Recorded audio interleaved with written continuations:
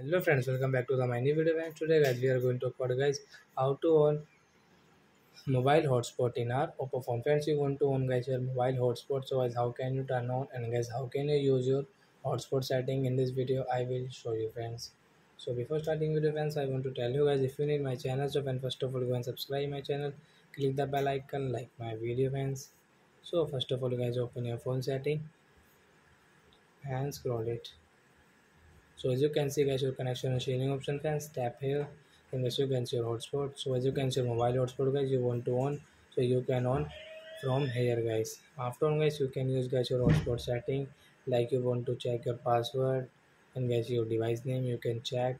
And guys you can see this qr code option. So you want to share your hotspot with your friends and someone. So as you can share from here.